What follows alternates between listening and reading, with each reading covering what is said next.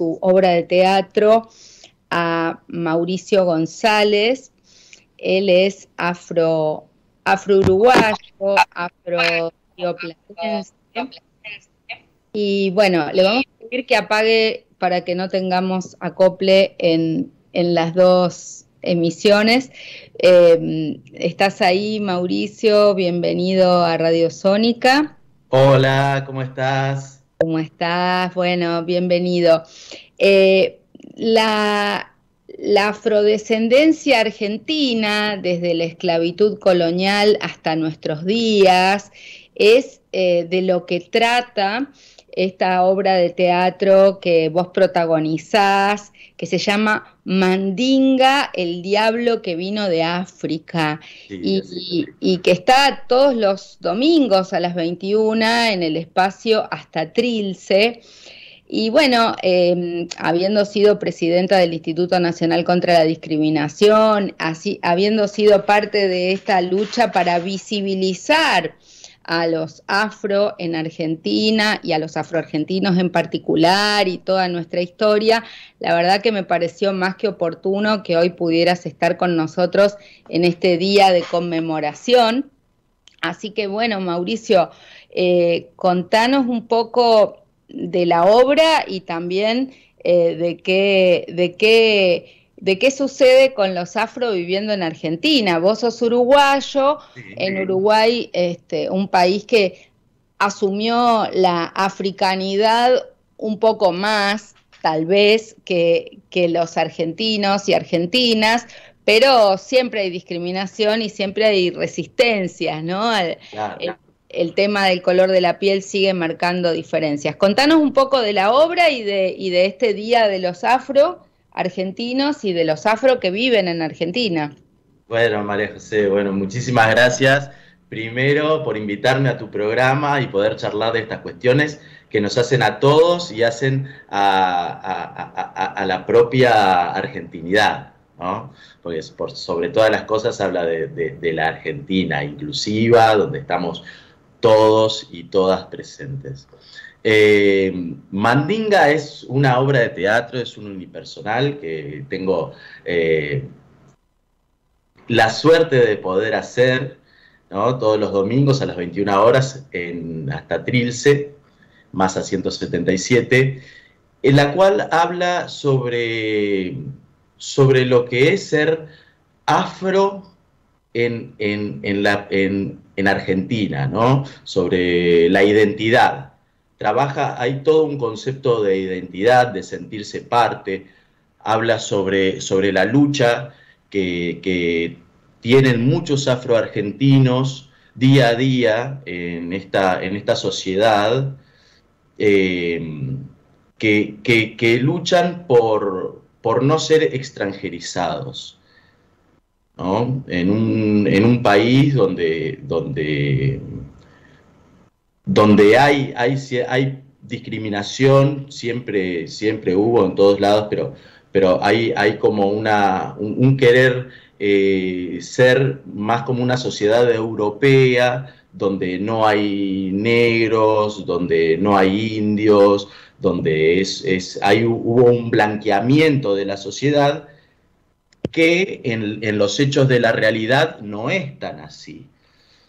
Entonces, desde ese lugar es que este personaje, el que interpreto, Matías, empieza a, poner en cuestionamiento todas estas cosas, hablando de, cosas reales, de, hechos, de hechos reales que hacen a, la historia de la Argentina eh, que, que los negros han participado tanto, los afro han participado tanto.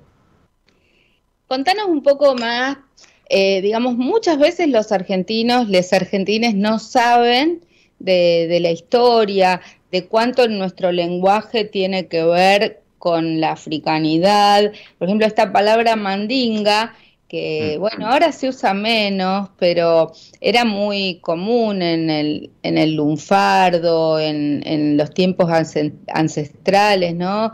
Eh, que tiene que ver con el diablo, mandinga, pero todas las palabras, bueno, de hecho el tango y tantas palabras que tienen ese gerundio NG, eh, tienen que ver con una raíz afro y, bueno, la gente no, no, lo sabe, ¿no? Como, hay cosas que vienen de, de los turcos o de Oriente y que también tuvieron eh, en, nuestra, en, nuestra, en nuestro folclore, la importancia, por ejemplo, de los bombos y, de toda la percusión, eh, que realmente es africanidad pura.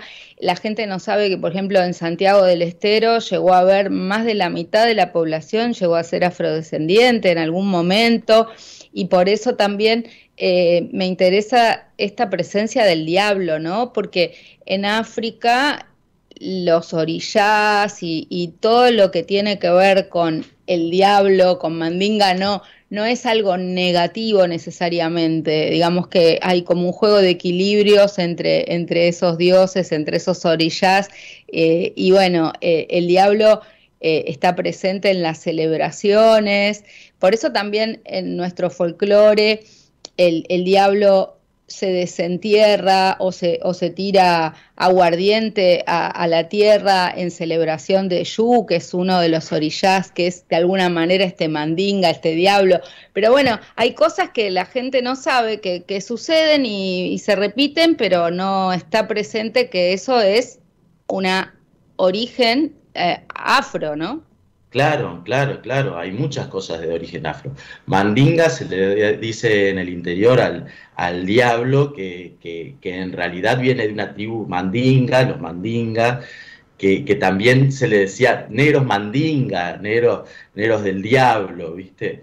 Eh, bueno, hay muchas cosas que vienen de, de raíz afro, ¿no? Todo lo que tiene que ver con la con la percusión, todo lo que viene, vos decías bien, decías los del bombo, también el tango, que es tango, también tiene que ver, ¿no? Esto, hay ciertas partes de la, de la payada, Gavino Ezeiza, un, un, gran payador argentino, afro, no olvidado, por suerte, porque ayer pude ver en, la conmemoración de, del de la celebración de, de, las personas afro y la cultura afro aquí en, en, Argentina, que se lo, se lo ensalzaba. Eh, también lo que tiene que ver con cosas como puede ser el dulce de leche, pueden ser, y bueno, y, lo que vos decías también, que está muy bueno eso, de que la mitad de las provincias, de, de la mitad de la población de las provincias de Salta, Córdoba Tucumán también eran de origen afro en cierto momento. ¿no? Esto, es, muy importante el aporte de, la cultura afro a, la sociedad argentina. Somos parte de ella y creo que sería otra cosa totalmente diferente si no hubiéramos existido, como se nos quiere hacer creer. Eh, ayer, justo hablando con un, con, un colega que vino a, ver la obra, quedó sorprendido por, por, por, por, bueno, por el espectáculo que es la obra, ¿no? Eh, quedó sorprendido por, por lo que es la música, donde muestra las raíces afro de, nuestra música, de la música argentina.